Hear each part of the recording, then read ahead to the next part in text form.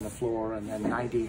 Uh, then we transferred her down to the ICU. It went down to 70 and then 65 but she was perfectly comfortable. Her respiratory rate was 20, um, her heart rate was 80, and so we did, certainly did not want to intubate her. So we put her on high flow nasal cannula um, for about 24 hours, and she required, originally we were at 20 liters per minute uh, and 70% FiO2, and then we went up, eventually ending up on 100% FiO2 uh, and 30 liters per minute, and her PF ratio down 65.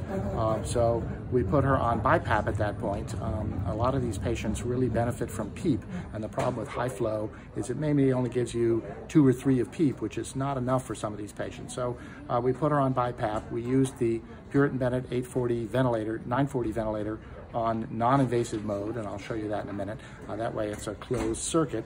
Um, and we put her on pressure support ventilation, uh, 12 over 5, uh, and we're able to get her down to 60% FiO2, and she's been on that for about 24 hours. Her PF ratio went up to 125 on that. She, her gases showed a PO2 of 75 on 60% FiO2, um, and she was very comfortable. So this morning we took her off the BiPAP and put her back on high flow to give her a break from the uh, BiPAP mask.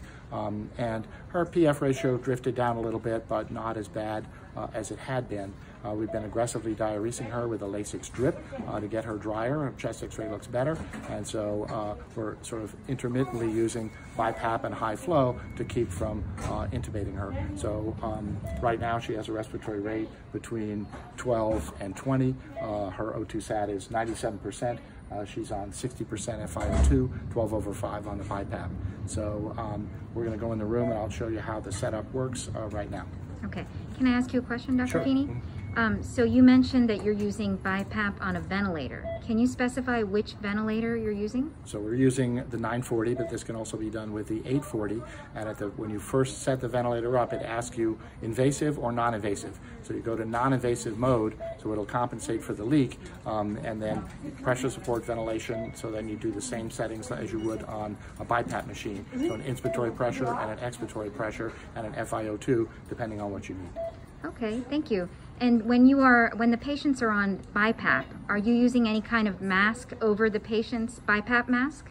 We are not um, because we are we have taped up the pop-off port uh, in the middle, and um, especially on pressure support, the patient is synchronous with the ventilator, so there's not a lot of air getting out. The little bit that may leak is from the side of the mask, which I'll uh, show you in a second. So I'm not sure that a mask would be very helpful, but the patient is in a negative pressure room, uh, and we wear a face shield and N95 mask uh, when we go in there. Uh, as usual, as well as gowns and gloves, of course. Um, and so uh, uh, I feel safe doing that. Okay. And how about with the, the high flow nasal cannula?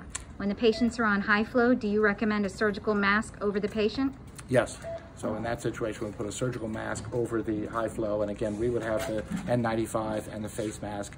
Uh, and as I think we mentioned in one of the conferences, a patient coughing has four times as much, 400 times as much uh, nebulization as with a high flow at 30 liters per minute. So especially if you're in a negative pressure room and you have an N95 face mask, uh, you're safe in that situation. Okay, great. And do you have a limit for your high flow nasal cannula in terms of liters per minute flow?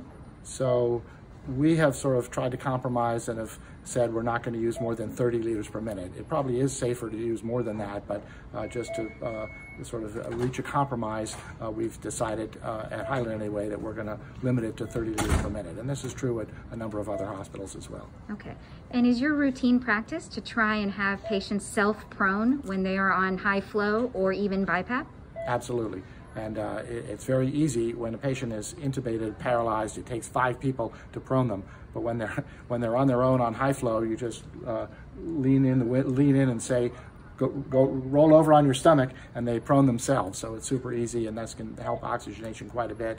And we've had a patient here that we used a combination of high flow and self proning, uh, never required intubation despite uh, PF ratios below 100 for several days. Okay. All right. Thank you.